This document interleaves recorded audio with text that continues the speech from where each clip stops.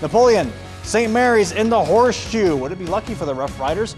Austin Parks getting the layup inside in the contact. So, so far, yes. Tanner Rubenstein now driving baseline, and he muscles in for the layup. Now the Riders answer right back. Braden Sullivan knocking down the three. Jaden Davis faking his man.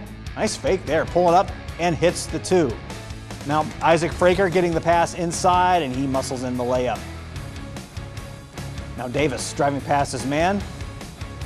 Buries the tough shot, double clutch.